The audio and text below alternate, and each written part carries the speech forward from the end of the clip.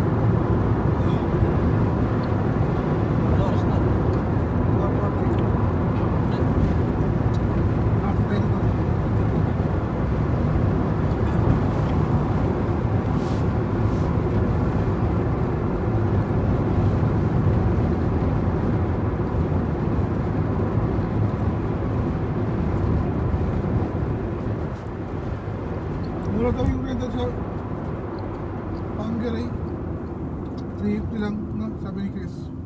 Sam. Hungary, yung renta niya. Saan na? Hungary. Yung sa may sa may sa may ta. Gana? 350 isang bahay daw. Eh, dulo tayo. eh.